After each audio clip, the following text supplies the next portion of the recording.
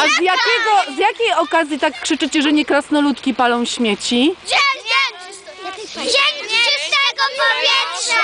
A powiedzcie to wszyscy razem. Dzień zdrowego powietrza! Słuchajcie, a śmie palone śmieci dużo dają złego powietrza?